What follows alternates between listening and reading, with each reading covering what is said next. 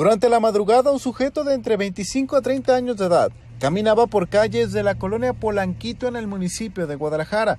Cargaba con una mochila. De repente se encontró con policías del estado y se echó a correr.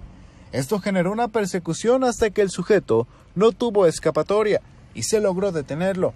Había arrojado la mochila, pero al revisar el contenido, los elementos policíacos se percataron de que, dividida en pequeñas bolsas de plástico, estaba una cantidad importante de droga, de la conocida como cristal. Esto sucedió en la calle Susana Ortiz, al cruce con la calle Cayetano Esteba.